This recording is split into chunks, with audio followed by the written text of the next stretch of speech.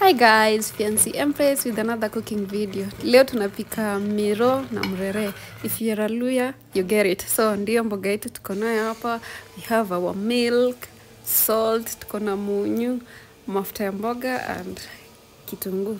Aki mi sijui nitawaexplainia ati niwaambie ni nini cause kama we si Mluya, kama hujakuwa uh, close na Mluya then huwezi elewa hii ni nini. Cause I have Kikuyu friends and they don't know anything about this. Anyways, tulikuwa tushaosha mboga yetu so hapo na transfer kwa sufuria ingine tuna add munyu. Hata munyu sijui nitawaambia ni nini kweli. I don't understand.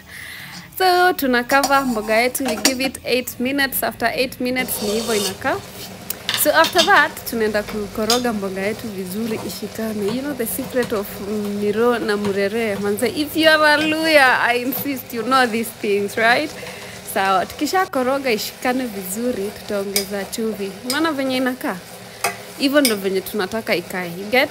So after this process tutaongeza tutaongeza chumvi kwa mboga yetu, we give it one minute and then sasa tutengeneze kitunguu, tuweke mafuta kwa sufuria, tuweke kitunguu and then once kitunguu yetu imeturn golden brown, tunaenda sasa kuongeza eh, mboga yetu kwa hii kitunguu.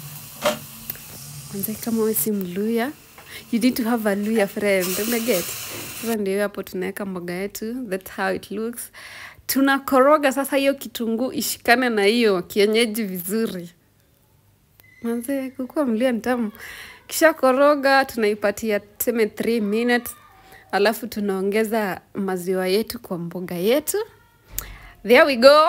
Aya, kishaongeza maziwa unaikoroga vizuri ishikane, alafu unaipatia time maziwa yetu ichemke ishikane na mboga. Basically that is it. Follow for more.